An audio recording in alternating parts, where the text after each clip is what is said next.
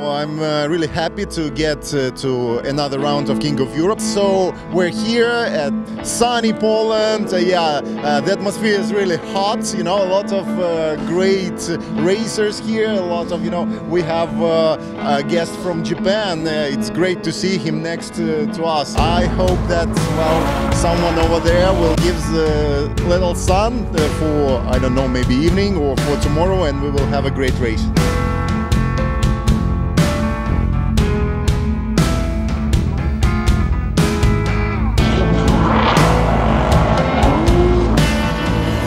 The track's very, very fast. Um, coming over the crest of the hill is a bit of an experience because you can't see the entry point or what's happening after the hill.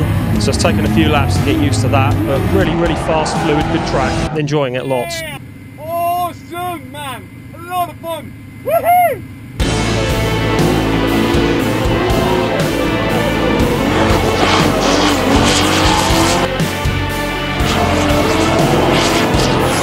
Think that our Polish drivers who are really, really very ambitious show amazing uh, driving style. And of course they have uh, amazing label for targeting. So because as I mentioned Japan. And uh, other drivers uh, they they are best of the best from these countries. So I'm expecting to have amazing show here. I think that the level is very high and uh, it will be great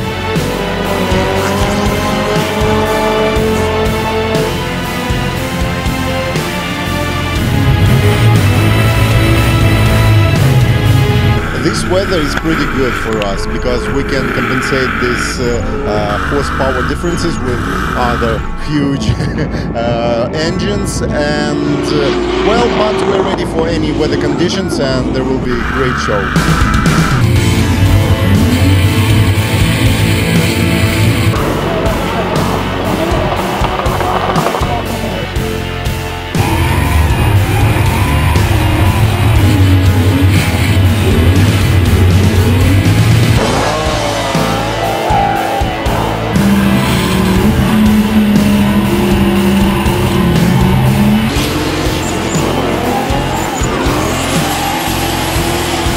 The team winner of King of Europe is STW Drift Team.